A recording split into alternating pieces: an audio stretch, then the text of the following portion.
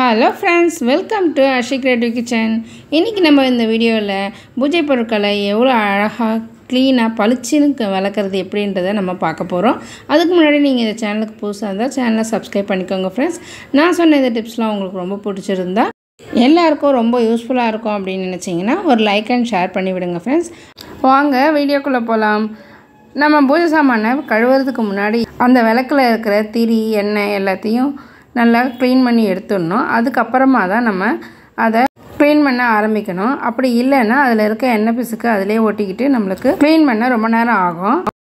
இது மாதிரி ஒரு டிஷ்யூ பேப்பர் வச்சு அதை க்ளீன் பண்ணி எடுத்துடுங்க. இதுக்கு நீங்கள் டிஷ்யூ பேப்பர் தான் யூஸ் பண்ணணும்னு இல்லை. ஏதாவது நியூஸ் பேப்பர் இருந்தாலும் ஓகே தான். இல்லைன்னா பசங்களோட பழைய நோட் புக்ஸ் எதனா இருந்தால் அதை கூட நீங்கள் அந்த பேப்பரை கிழிச்சு கூட இந்த மாதிரி செய்யலாம்.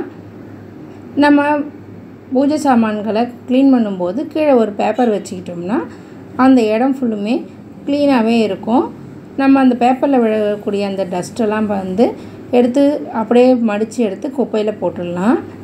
பூஜை இடத்த க்ளீன் பண்ணும்போதும் சரி பூஜை பாத்திரத்துக்கு மஞ்சள் குங்குமம் வைக்கும்போதும் சரி அதனோட டஸ்ட்டெல்லாம் கீழே விழாமல் இருக்கிறதுக்கு நான் இப்போ டேபிள் மேலே போட்டிருக்க மாதிரி ஒரு நியூஸ் பேப்பரை அடியில் போட்டுக்கிட்டு அது மேலே நீங்கள் செஞ்சீங்கன்னா அந்த இடம் வந்து எப்பவுமே க்ளீனாகவே இருக்கும். இப்போ நான் இதை அஞ்சு நிமிஷத்தில் க்ளீன் பண்ணுறதுக்கு ஒரு சூப்பரான ஒரு லிக்விட் தான். இது லிக்விடுன்னு சொல்ல முடியாது. இது சாமிக்கெல்லாம் அபிஷேகம் பண்ணக்கூடிய ஒரு பொருள்னும் சொல்லலாம். இந்த பொருள் வந்து நம்ம உடம்புக்கும் நல்லது நம்மளுடைய ஸ்கின்னுக்கும் நல்லது. இந்த வெயிலில் வெளியில் போயிட்டு வந்தால் குடிக்கக்கூடிய ஒரு குளிர்பானம் அப்படின்னும் சொல்லலாம்.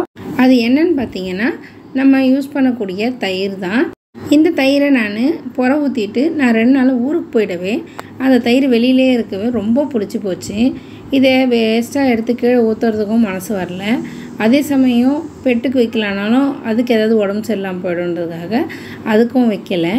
இப்போ அந்த தயிரை நான் விளக்கு சாமான் விளக்கிறதுக்கு யூஸ் பண்ணி பார்ப்போம். லெமன் இல்லையே என்ன பண்ணுறது அப்படின்றதுக்காக இதை யூஸ் பண்ணி பார்த்தேன். உண்மையிலேயே சூப்பரான ஒரு ரிசல்ட் கொடுத்தது ஃப்ரெண்ட்ஸ் பாருங்கள் நீங்களே பார்க்கலாம். இது வந்து நான் உங்களுக்கு எங்கேயுமே கட் பண்ணாமல் லைவாக தான் காமிக்கிறேன் உங்களுக்கு. பாருங்கள் தேய்க்கும் போதே அதனுடைய பளபளப்பு எப்படி இருக்குதுன்னு சொல்லிட்டு. இந்த தயிர் கூட நான் லெமனோ இல்லை சபினாவோ பீதாம்பரி எதுவுமே நான் ஆட் பண்ணவே இல்லை. அப்படியே தான் நான் உங்களுக்கு தேய்ச்சி காமிக்கிறேன். அவ்வளோ சூப்பராக இருந்துச்சு. சரி இது அப்படியே வந்து நம்ம ஃப்ரெண்ட்ஸு கூட ஷேர் பண்ணிக்கிட்டோம்னா அவங்களுக்கும் ரொம்ப யூஸ்ஃபுல்லாக இருக்கும் அப்படின்னு சொல்லிட்டு. இதுக்கு நான் வந்து ரொம்பவே மெனக்கடவும் இல்லை. அதில் அந்த தயிரில் இருக்கிற அந்த புளிப்பு தன்மை நல்லாவே விளக்க நல்லா பளபளன்னு ஆக்கிடுச்சு. ரொம்ப நல்லா இருந்துச்சு. பாருங்கள் எப்படி இருக்குது அப்படின்ட்டு நீங்கள் தேய்க்கும் போதே அதனுடைய அழுக்கு எல்லாமே விட்டு போகுது. நம்ம லெமன் வச்சு தேய்ச்சோம்னா எப்படி ஒரு பளபளப்பு இருக்குமோ அந்த அளவுக்கு ஒரு பளபளப்பு இருக்குது. இனிமேல் எல்லாருமே வந்து இதை ஃபாலோ பண்ணி பார்க்கலாம் உண்மையிலே ஹண்ட்ரட் பர்சன்ட் ரிசல்ட்டு நல்லாவே இருக்குது. இதுக்காக நீங்கள் கடையில் விற்கக்கூடிய லிக்விடோ இல்லை கெமிக்கல் கலந்த வேறு ஏதாவது பொருளோ கூட நீங்கள் யூஸ் பண்ண வேண்டாம். இந்த தயிர் இருந்தாலே போதும். அப்படியே உங்களுக்கு பீதாம்பரி ஒத்துக்கும் அப்படின்னா பீதாம்பரி கூட இந்த தயிரை மட்டும் ஆட் பண்ணி நீங்கள் தேய்ச்சிங்கனாலும் போதும். நான் இன்றைக்கி வந்து பீதாம்பரியோ எதுவுமே யூஸ் பண்ணலை. இந்த பூஜை சாமானை தேய்க்கும் போது உங்களுக்கு சொல்லக்கூடிய ரெண்டாவது டிப்ஸ் என்ன அப்படின்னு பார்த்தீங்கன்னா நம்ம பீதாம்பரி வச்சோ இல்லை லிக்விட் எதனா வச்சு தேய்க்கும் போது இல்லை புளி எலுமிச்சம்பழம் இது மாதிரி வச்சு தேய்க்கும் போது கடைசியாக கொஞ்சமாக சபீனா போட்டு நல்லா தேய்ச்சி விடுங்க. அந்த பல பலன்னு நல்லா நுரைச்சிக்கிட்டு வரும் சபீனா. அப்போ உங்களுக்கு அதில் அழுக்கு எதுவும் இல்லை அப்படின்றது நல்லாவே தெரிஞ்சிடும். அந்த மாதிரி நீங்கள் செய்யும்போது விளக்கு வந்து ஒரு பத்து பதினஞ்சு நாள் வரைக்குமே நல்லாவே பளிச்சுன்னு இருக்கும். ட்ரை பண்ணி பாருங்கள் சிலர் வந்து புளி எலுமிச்சம்பழம் இதை மட்டும் போட்டு தேய்ச்சிட்டு அப்படியே கழுவி வச்சுருவாங்க. அந்த மாதிரி கழுவி வைக்கும்போது ரெண்டு மூணு நாள்லேயே அந்த விளக்கு வந்து நல்லா கருப்பாயிடும். அதுக்கப்புறம் ஏற்றுறதுக்கும் ரொம்ப சங்கடமாக இருக்கும். இப்போ பாருங்கள் விளக்கு முடிஞ்சிடுச்சு இப்போ அதுங்க இருக்கிற அந்த செம்பு தட்டை வந்து க்ளீன் பண்ணுறேன் எப்படி இருக்குதுன்னு பாருங்கள் தேய்க்கும் போதே அதனுடைய கலர் வந்து மாறுது பாருங்கள் ரொம்பவே நல்லா இருந்துச்சு இது. நீங்களும் ட்ரை பண்ணி பாருங்கள் நான் இந்த விளக்குலேயும் இந்த தட்டுலேயும் தயிரை ஊற்றிட்டு ஒரு அஞ்சு நிமிஷம் கூட நான் ஊற கூட விடலை. அப்படியே தான் உங்களுக்கு செஞ்சு காமிக்கிறேன். ரொம்ப நல்ல ரிசல்ட் இருந்துச்சு. இனிமேல் நீங்கள் தயிர் புளிச்சு போச்சு அப்படின்னு சொல்லிட்டு கஷ்டமே பட வேண்டாம். இதில் நான் உப்பு கூட கலக்கலை. அவ்வளோ நல்லா இருந்துச்சு இந்த ரிசல்ட்டு உண்மையிலே இது உங்களுக்கு யாரும் சொல்லாத ஐடியாவாக இருக்கும்னு நினைக்கிறேன். ட்ரை பண்ணி பாருங்கள் இதை ஃபாலோ பண்ணி பார்த்துட்டு எப்படி இருக்குன்னு சொல்லி கமெண்ட்டில் சொல்லுங்கள் ஃப்ரெண்ட்ஸ் இப்போ இந்த விளக்கு ந- தட்டையும் நல்லா தேய்ச்சி எடுத்தாச்சு. இந்த மாதிரி ஒரு பாத்திரம் அடியில் வச்சுக்கிறதுனால உங்களுக்கு சுற்றிரும் எந்த ஒரு டஸ்ட்டும் ஆகாமல் க்ளீனாக இருக்கும் அந்த இடமும்.